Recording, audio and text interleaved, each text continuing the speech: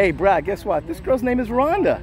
Robin. And, uh, Robin. I meant Robin. Robin. Yeah, because right. your girlfriend's right. girlfriend's name is. Robin. No, We have. Barbara. We're right at the field outside of the concert. Look at Barbara, she's waving.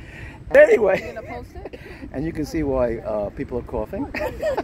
it's good. You would love it here right now. But the line to that concert, oh my God, it's like a half a mile long. It's crazy. All right, we'll sign out now, Brad. Let me know if you got this video. Bye.